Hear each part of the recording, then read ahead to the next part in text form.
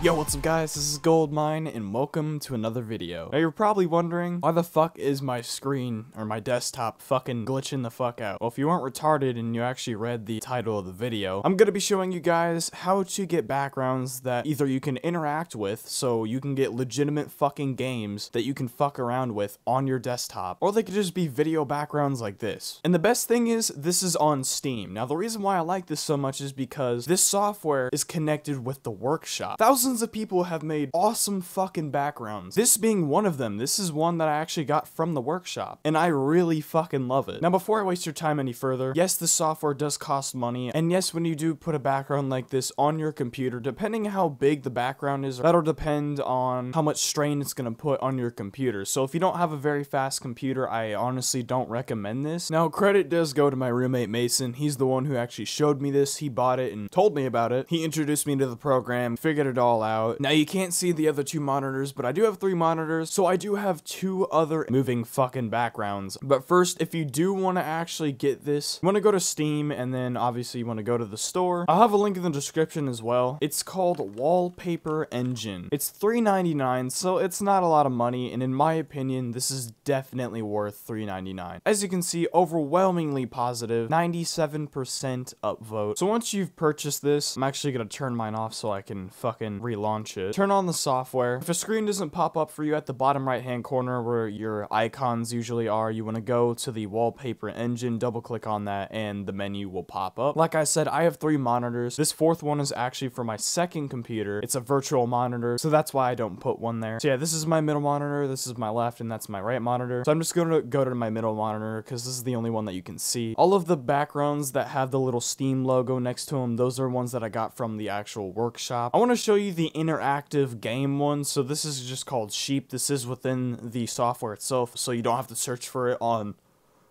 the workshop. So I'm just to click it. It'll automatically apply it. And as you can see, it just launched the game and you can mess around with the sheep. And there's even sound, which is kind of cool.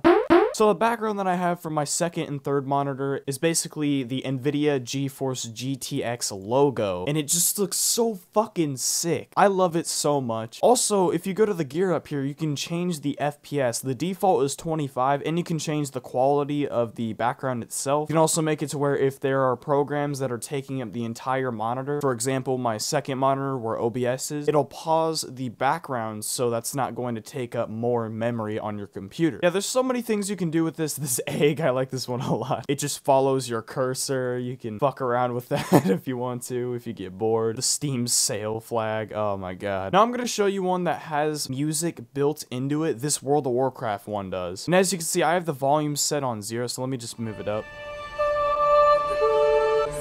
And again, if you did get a background that has sound, volume, the majority of the time it'll give you the option to turn it up, turn it down, or just mute it completely. So if you want to browse the workshop, obviously you just click browse workshop. It'll take you to Steam and to the workshop. Do keep in mind because for some reason in the past people have commented saying my background isn't on and most of the time that's because the software is off. So as you can see, I'm going to turn off the software and it goes back to the default or whatever background you had originally originally. That's how you get interactive and movable backgrounds on your computer. I fucking love this software. I'm so glad that my roommate fucking showed me this shit. I really hope you guys did enjoy. If you did, please don't forget to hit that like button and subscribe. I want to hear your guys' thoughts on the software and just this whole concept in general in the comments down below. Anyways, I'll see you guys later. This is Goldmine, and I'm out.